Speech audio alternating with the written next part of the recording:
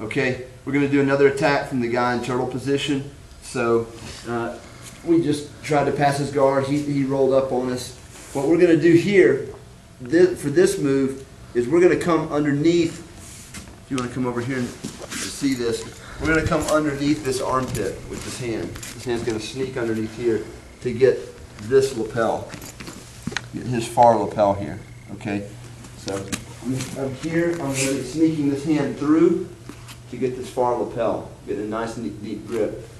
This is real simple what we're about to do. We've got this grip. We're now, we're gonna give ourselves just enough slack to get our thumb in right here. Now, all we're gonna do is pull guard. And when I pull guard, here's what I'm doing. I'm extending my, my elbow that way.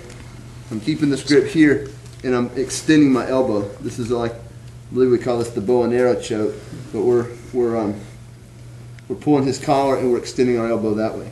So again, turtle. So I'm here this position, maybe I'm sprawling.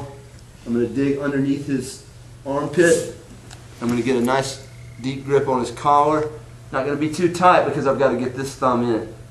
Once I get this thumb in right behind his neck, I'm gonna take, stand up with this leg, and I'm gonna shoot the other leg, my right leg, underneath him, and come up with, put my left leg on top of him. And I'm gonna extend my elbow that way. This way. This kind of turning. One more time. Real simple. Here, sneaking my hand underneath his armpit. Right through here, underneath his armpit. Getting the opposite lapel. Getting on the back of his neck, thumb in grip on the back of his neck. This foot comes close to him. My other leg is going to shoot through.